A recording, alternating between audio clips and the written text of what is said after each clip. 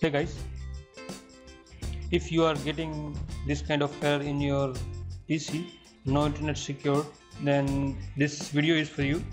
Just follow these steps and you will be able to fix this issue. Uh, so first of all just press the windows plus r key together and type ncpa.cpl and hit enter. Also make sure that your internet connection is turned on just right click on your connection and go to the properties. Here you have to uncheck these following. Client for microsoft network. Also uncheck the file and printer sharing for microsoft network. Also do same for the QoS packet scheduler and uh, scroll down.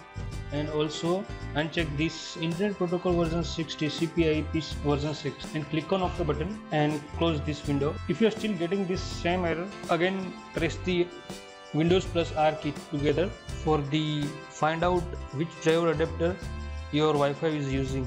Again type the ncp a.cpl and hit enter. Here you can see that uh, which Wi-Fi network adapter you are using. In my PC AR956X. So just click on the start button and go to the device manager.